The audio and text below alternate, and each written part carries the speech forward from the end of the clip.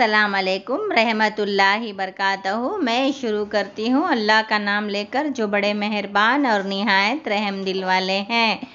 आज फ्रेंड मैं मोमो बनाने जा रही हूँ। तो चलिए चलते हैं। पहले मोमो की चटनी की तरफ़ हमने एक लीटर पानी ले लिया है। हमने यहाँ 50 ग्राम सूखी मिर्ची ले लिया है। उसका दंडी तोड़ दिया है। आधा किलो टमाटर ले लिया है। उसको चार भाग में हमने काट लिया है। देखिए, अच्छी तरीके से उबाल आ चुका है। अब हम कुछ समय इसको पकाएँगे दो तीन मिनट। अब हम क्या करेंगे, एक झल्डी ले लेंगे। झल्डी का चम्मच के साथ जो रहता है, उसके ज़रिए से हम पूरे टमाटर और मिर्ची को बाहर निकाल लेंगे। फ्रेंड, उसका पानी को तो हमको ज़रूरत नहीं पड़ेगा, पानी नहीं चाहिए। बस टमाटर, उसका स्किन हमको निकालना है। आसानी से ठंडा होने के बाद आप निकाल दीजिए। मैंने भी ठंडा होने के बाद निकाला हुआ है। अब हम क्या करेंगे? एक जार में पूरा ऐड कर दिया मैंने पीसने के लिए इसको बारीक से। अब हम मैं इसको पीस कर बताती हूँ आपको। देखिए, मैंने पीस दिया है।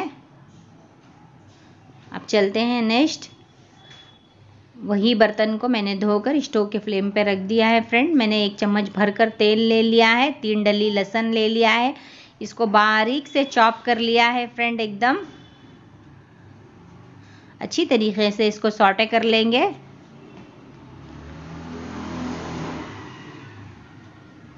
थोड़ा सा कलर चेंज हो चुका है फ्रेंड। अब नेक्स्ट हम एक प्याज बारीक से, जैसे बारीक से कटिंग करते हैं हम आमलेट के लिए, उस तरीके से कट कर कर हम इसमें ऐड कर देंगे। अब नमक ऐड करेंगे। स्वाद अनुसार एक चम्मच मैं ऐड कर रही हूँ फ्रेंड थोड़ा सा एक चम्मच से कम भी रहेगा तो चल जाएगा फ्रेंड नमक तो ज़्यादा नहीं होना चाहिए। ये ऑरेगेनो है फ्रेंड थोड़ा सा इसको भी हमको ऐड करना है। इसको हम आधा चम्मच ऐड करेंगे। आधा चम्मच चिली फ्लेक्स ऐड करेंगे। अब इसको भी सॉटे कर लेंगे हम। अब नींबू ले लिया है हमने, उसका जूस निकाल लिया है, उसको भी ऐड कर दिया है। अब और कुछ मसाले हैं फ्रेंड। सोया सॉस है, एक चम्मच भरकर बड़े स्पून से। इसको भी हिला लेंगे, सोटे कर लेंगे, मिक्स कर लेंगे, ताकि अच्छा मसालों के साथ में मिक्स हो जाए। अब नेक्स्ट एक चम्मच शक्कर, शुगर ऐड करेंगे। अब जो हमने पीस कर रखा था, टमाटर और मिर्ची को बॉईल कर कर, उसको भी कुछ समय डालकर हम सॉटे कर लेंगे, अच्छी तरीके से मिक्स कर लेंगे। अच्छी तरीके से मिक्स हो जाए, उसके बाद हम फ्लेम को एक उबाल आने के बाद हाफ़ कर देंगे। अब चलते हैं नेक्स्ट मोमो की तरफ़। देखिए 700 ग्राम चिकन ले लिया है हमने इसको। अच्छी तरीके से वॉश कर लिया है इसका पानी सुखा लिया है। अब हम नेक्स्ट क्या करेंगे? एक जार में इसको जैसे कीमा पीसते हैं उस तरीके का इसको पीस लेंगे। देखिए इस अब नेक्स्ट चलते हैं इसके स्टफिंग के तरफ़। हमने दो हरी मिर्ची ले लिया है एक डल्ली लहसुन ले लिया है। अब इसको भी हम चॉप कर लेंगे। इस तरीके का।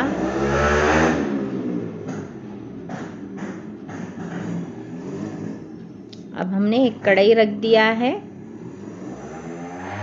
फ्रेंड, मैं एक चम्मच घी ऐड कर रही हूँ। आप चाहे तो ऑयल में भी बना सकते हैं।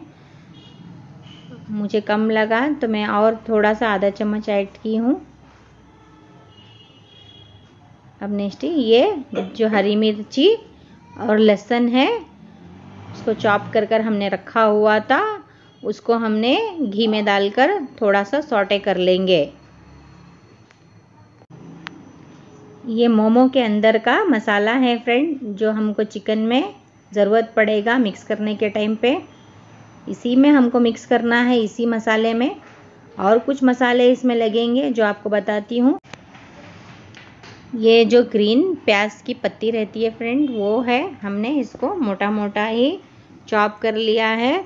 ये तो पकने के बाद नरम पड़ जाता है। इसको भी कुछ समय हम इसी तेल में हम भूनेंगे। और ये बारीक से चॉप करा हुआ प्याज है फ्रेंड। बड़ा प्याज दो है। एकदम बारीक से। शेजवान सॉस है फ्रेंड ये। ये एक चम्मच मैं ऐड करूँगी। मेज़रमेंट से अगर से देखा जाए तो यही स्पून छोटा स्पून से मैं ऐड करी हूँ, जो स्पून से हिला रही हूँ फ्रेंड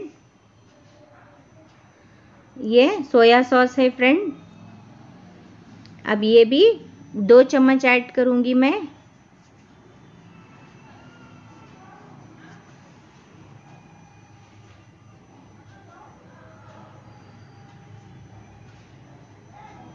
अब इसको भी हम मिक्स कर लेंगे। ताकि अच्छी तरीके से मिक्स हो जाए। ये विनीगर है फ्रेंड ये विनीगर को भी हम एक चम्मच ऐड करेंगे। आप कौन से भी ब्रांड का ले सकते हैं विनीगर अब हमने विनीगर को भी ऐड कर दिया है। अब हम इसको अच्छी तरीके से मिक्स करेंगे फ्रेंड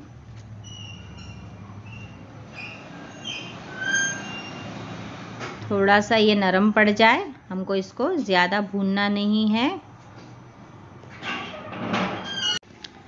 थोड़े से। स्वीट कॉर्न है फ्रेंड ये मेज़रमेंट से अगर से मापा जाए तो दो स्पून है फ्रेंड ये। मैंने इसको बॉईल कर कर रखा हुआ था। अब इसको भी हम ऐड कर देंगे। कुछ पकाना तो नहीं है इसमें। अब सॉल्ट ऐड करेंगे। सॉल्ट आप अपने अंदाज से ऐड कीजिए। मैंने आधा स्पून से थोड़ा ज़्यादा ऐड किया है। अब वो जो कीमा हमने बना कर रखा था चिकन का, उसको ऐड कर देंगे। उसको भी मिक्स करेंगे अच्छी तरीके से। देखिए फ्रेंड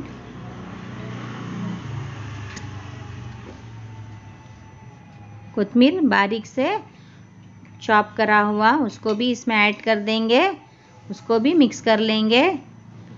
अब फ्लेम को हाफ़ कर देंगे फ्रेंड अब नेक्स्ट चलते हैं। अब मोमो के झल्डी के तरफ़। इसको छन्नी भी बोला जाता है। अब उसको हम हाथों के ज़रिए से ग्रीस कर लेंगे। चाहे तो आप ब्रश से भी कर सकते हैं। और दो लीटर पानी हमने एक टोप में ऐड कर दिया है, जिसको भगोना भी बोला जाता है, और उसको गर्म होने के लिए हमने रख दिया है। अब नेक्स्ट चलते हैं आटे की तरफ़ फ्रेंड मैंने मैदा ले लिया है। मैदे का आटा 600 ग्राम लिया है। उसमें सॉल्ट ऐड किया है। अब इसको गूनेंगे। जिस तरीके से हम आटा गूनते हैं। पानी आप अपने अंदाज से ऐड कीजिए फ्रेंड। उस, उस अगर से आपको उसका मेज़रमेंट समझ में नहीं आ रहा है तो मुझे बोल दीजिए मैं आपको माप कर बता दूँगी कि मुझे कितना लगा। थोड़ा थोड़ा कर कर हम ऐड करेंगे।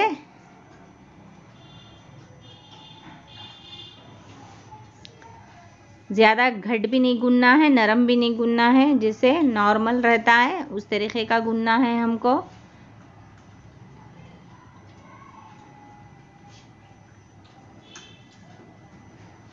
देखिए, ये भी गुन चुका है।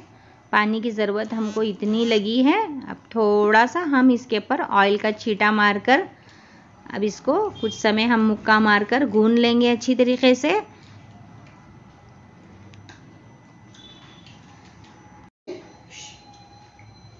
अब हम इसको कुछ समय ढककर, बंद कर कर रख देंगे। देख सकते हैं अब जब तक हम हाथ धोने जाते हैं और इसको आधे घंटे के लिए रख देते हैं। इस तरीके का हमारा हाथ लगे, नरम हो जाए आटा। अब ये आधे घंटे के बाद हम खोल कर आपको बताते हैं। देखिए, स्पंज के जैसा लग रहा है एकदम। अब कुछ समय वापस से इसको हम गूनेंगे ताकि और थोड़ा सॉफ्ट हो जाए आटा ये। अब इसकी एक लोरी अब हम आपको तोड़कर बताते हैं। छोटी छोटी लोरी। अगर से आपको नहीं समझ में आया फ्रेंड तो मैं एक बड़ा पेड़ा आपको लेकर, जैसे नॉर्मल रोटी बेला जाता है, उस तरीके से मैं आपको बेल कर और आपको खुटरे के छाप में आपको मोमो बताती हूँ मैं। सूखा आटा लगाकर इसको बेल लेंगे हम। मैं एक ढक्कन की सहायता से इसको छाप मार रही हूँ। जितनी पूरी के जिसा जैसे रहता है, उस तरीके का शेप बन जाएगा। इतना शेप से हम बेलेंगे तो भी बनेगा नहीं फ्रेंड या आसानी से एक साथ से दो दो, तीन तीन मोमो बन जाएगा। अब मैं आपको नेक्स्ट इसका टफिंग कर कर बताती हूँ। इसके ऊपर थोड़ा सा और बेलन, एक पतला सा बेल देती हूँ। मुझे ये इजी लगा फ्रेंड तो मैंने ये किया। आपको भी ये इजी लगता रहा तो इस तरीके का आप भी कीजिए। देखिए एक एक चम्मच डालकर मैं आपको इसकी टफिंग को क्लोज कर कर बताती हूँ। इस तरीके से, जैसे हम साड़ी का मीरी बांधते हैं, उस तरीके से हमको एक को एक लगाकर जॉइंट करना है कुछ दूरी पर। मुझे जिस तरीके से आया, मैं आपको बनाकर बताई फ्रेंड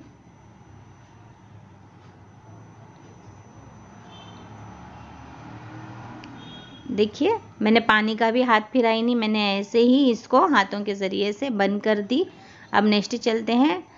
सेकेंड टफिंग के तरफ़। ये भी मैं इसी तरीके का बना रही हूँ।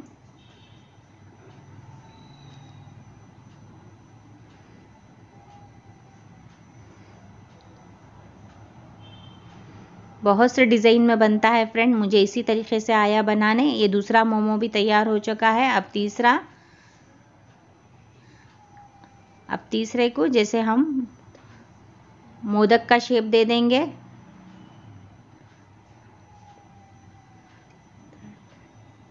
अब ऐसे ही मैं दो तीन मोदक का शेप दे दूँगी उसको। अब नेक्स्ट चलते हैं चारवे मोमो के तरफ़। चारवे मोमो का डिज़ाइन है ये।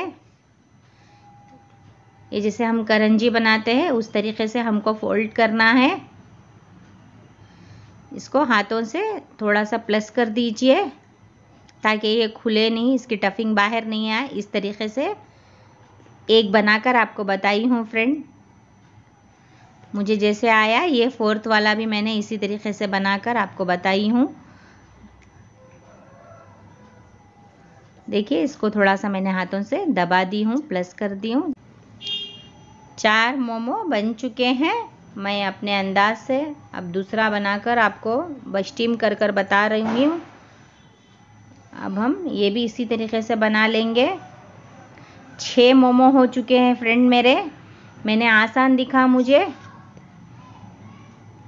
मुझे आटा अगर से एक्स्ट्रा लगा है तो मैं और थोड़ा आटा उसमें कम कर लीजिए आप, मोटा लगा तो। मुझे बराबर लगाइए।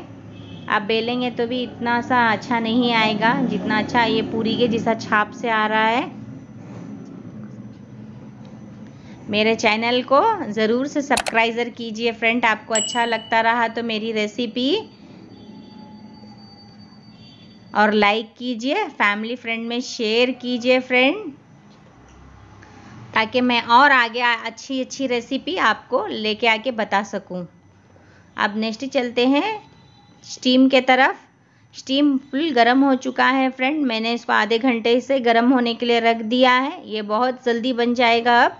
अब हम इसको पूरे को इसमें ऐड कर दिए हैं एक एक कर कर। अब कुछ इसको बंद कर देंगे ढक्कन से हम। अब ये बन चुका है फ्रेंड। इसका ढक्कन हटाकर मैं आपको बताती हूँ। पंद्रह मिनट के बाद बताती हूँ फ्रेंड मैं आपको ये किस तरीके का पका है। पंद्रह मिनट हो चुका है फ्रेंड। ये देखिए। मैं आपको सर्व कर कर बताती हूँ फ्रेंड एक एक एक एक गरम गरम है फ्रेंड उसके लिए. मैं चुमटे के ज़रिए से इसको रख कर बताई हूँ. चटनी भी हमारी ठंडी हो चुकी है. इसके ऊपर मैं स्प्रिंग ऑनियन का मैं कुछ ऐड कर कर आपको बता रही हूँ फ्रेंड प्लीज़ ट्राई कीजिए मेरी रेसिपी को और शेयर कीजिए फ्रेंड और ऐसी अच्छी अच्छी रेसिपी देखने के लिए मुझे फॉलो कीजिए फ्रेंड फिर लौट कर आऊँगी कोई नई रेसिपी के साथ। मैं आपको एक खाकर बताती हूँ फ्रेंड तब तक के लिए अल्लाह हाफिज़।